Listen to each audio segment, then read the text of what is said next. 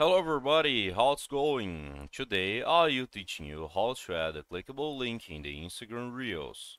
So the first thing you need to do is make sure your Instagram app was updated, okay? And it's important to say the Instagram doesn't allow you to add a clickable link on the Reels, okay? But what you can do to basically share a link with your public is simple. You create a Reels and you say you put the link on the bio of your Instagram, okay? Because you can put the a clickable link on the description of a Reels, okay? Or inside the Reels. Instagram doesn't allow you to do that, but you can say to your public to click in the link on your bio. And to add a link on your bio is simple, just clicking edit profile, okay? in the profile section on your Instagram and here you can see the add a link okay?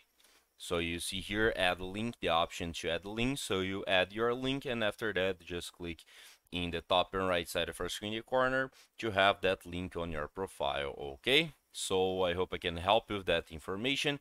If you like don't forget to subscribe in our channel and hit the like button. See ya